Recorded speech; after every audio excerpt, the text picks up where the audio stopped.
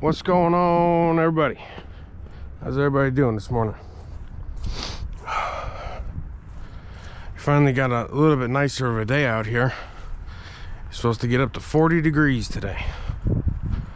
So, I got some stuff done. Not a whole heck of a lot. I still got all these TVs I gotta mess with, but those are gonna have to wait. So I got a decent bit of my stuff cleaned up. All the furnaces are gone. I got rid of all, pretty much all my clean steel. Got all these motors. All those got to go back to the barn. I'm going back to the barn right now, but I'm not taking those because I got some other stuff I got to do. So, we got us a nice big non-ferrous load going. And a whole bunch of clean ACRs, a couple super heavy sealed units. I got some a little bit of shell brass, one motor I'm not willing to mess with, two ballasts, couple transformers, ACR end, bucket of breakage, bucket of harness wire. It's number two copper, but I think this is gonna get transferred. A couple cans, there's a little bit of yellow brass in a garbage can, and some clean cast aluminum. So there's a couple more things that I gotta do before I leave. Those combos are getting cut. I gotta get those done. Oh, I gotta throw that A coil up there too. That's gotta go.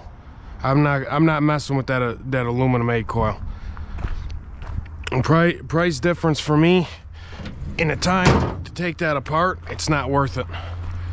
I only get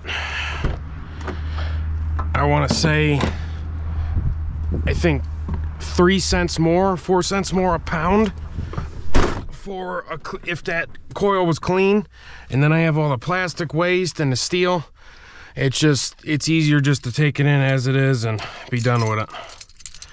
So let the truck warm up for a second here. Do I'm on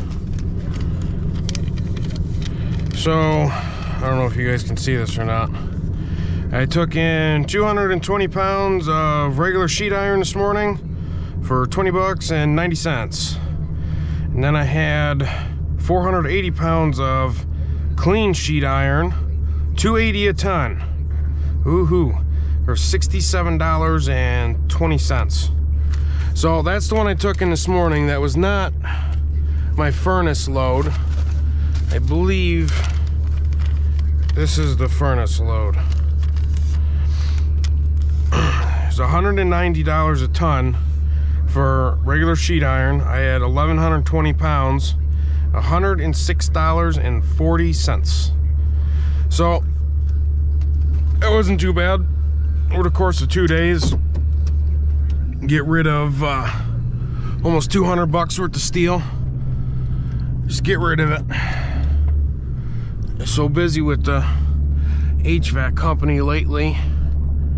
And um, I got I have a, a rooftop unit that's got to be picked up on Friday. I don't know how big it is I haven't seen it but be taking a trailer and going to get a nice big unit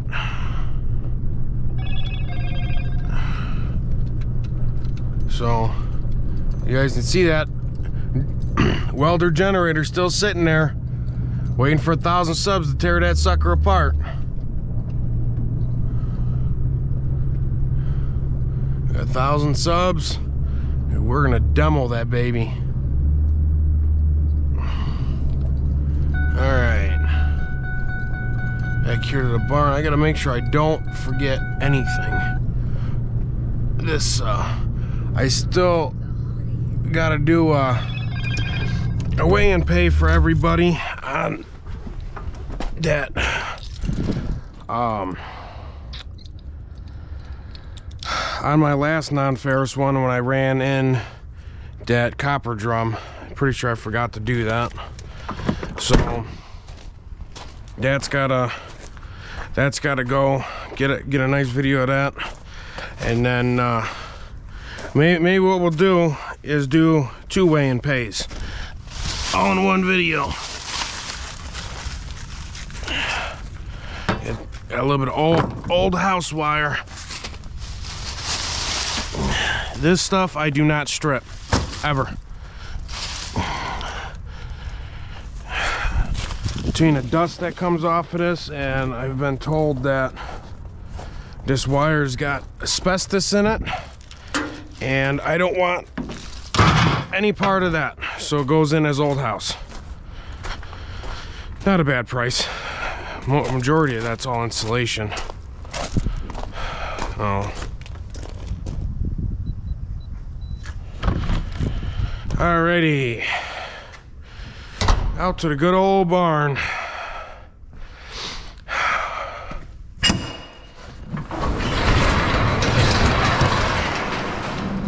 Okay. So let's see what we got going here.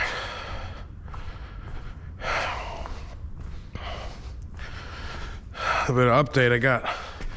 I got going pretty, pretty darn nice here. This garbage can I'm not putting any more in it because I'm afraid I'm gonna rip the handles right off of it. So, I got uh, some goodies on here. I've been stockpiling my electric motors. I hope y'all didn't forget about the sheet copper. Sheet copper's going to the scrapyard today. Holy smokes.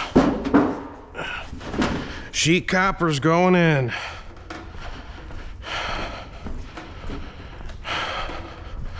Need extra money right now, so it's gotta go. One way or another, it's gotta go.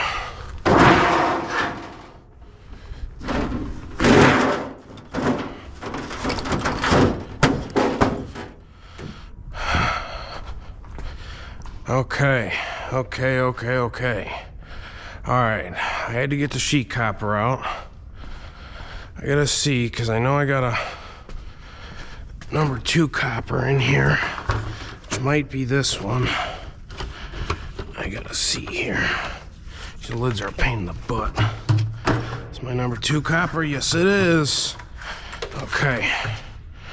So we're gonna get we're gonna get this consolidated a little bit.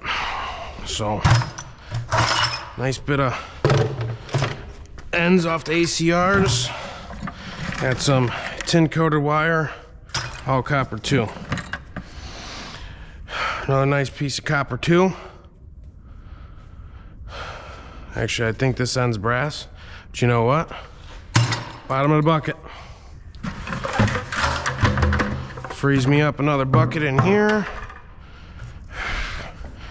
bring this out this way some. This has actually got a fair little bit of weight in it. So there's that. Do a little bit of consolidating, like I said. Get this copper bucket off of here. And get this just dumped in there. Oh, look at all them little ends. Need to go down in there further. All right, so that's that. I'm trying not to forget nothing. I'm not taking in none of the good copper. None of the good copper's going in yet. I'm not satisfied enough with how much I have done, so it's just not going in.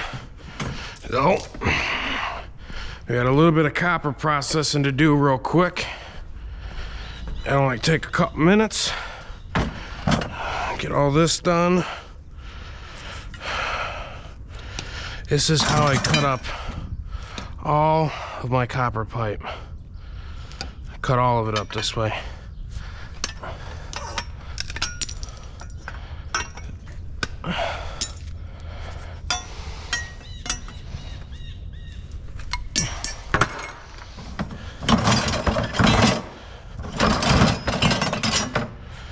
Stuff wouldn't get tangled up so dang bad. More yellow brass. That's what I like to see. Gotta make some money today. Gotta make some money today. Now that cut off there, we're gonna cut this cut this down a little bit smaller. That number one's gotta go in my other drum. And cut it up a little smaller just so I can get as much in there as absolute possible two in there.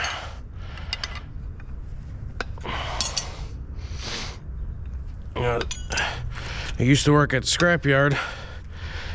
Use this exact same kind of cutters. That's what I used all the time to chop copper. All the time. It's not so bad when you do just got a little bit to do, but when you got a lot to do, it kind of starts hurting your back.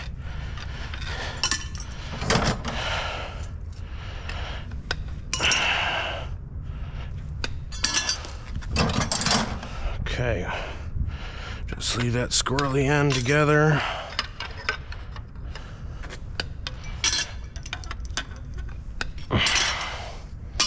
Good enough. Mo brass. Mo brass, mo better.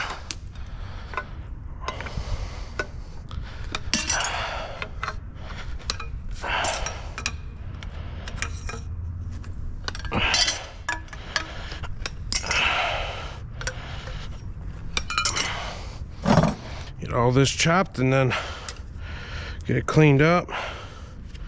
Use one of them buckets I just emptied to throw the number one in and go dump that.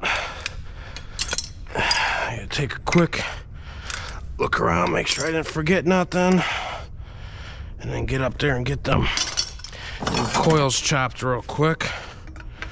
This one's clean, just got cut it down a little bit. Mo brass.